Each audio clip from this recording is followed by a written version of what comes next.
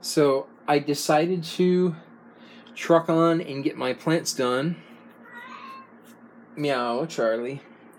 Um, those are all old pots that are junky. I decided to do it inside. So what I did is I put an old shower curtain up here. I gotta clean all this up. Extra dirt. My kitty.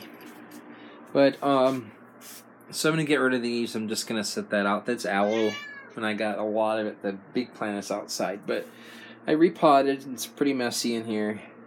That one. These worked out really good, the little containers that I bought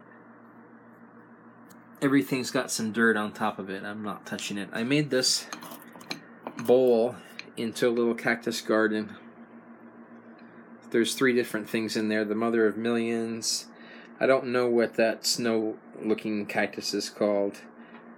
And this is one baby off of um, the ones that I started from about the size of a dime. Now they're huge. And here's a little thing I put one in. And this worked out really good for that. And I wasn't going to use this jar, but it did end up looking really southwest, so um, I put a cactus in it. And then I ended up taking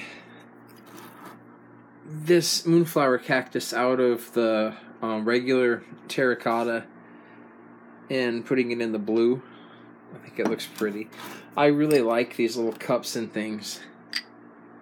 I was able to split up one of these plants that ended up being three plants, so I left this little guy from the garage sale in there, but I put a wandering in there.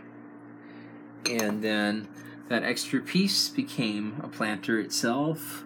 I think they turned out really good. I got all these little things and I'm really am looking for like a baker's rack shelf, but like a really cheap one. So I keep looking at Goodwill.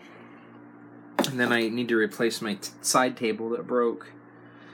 And here's that chair. So that's what's going on the balcony.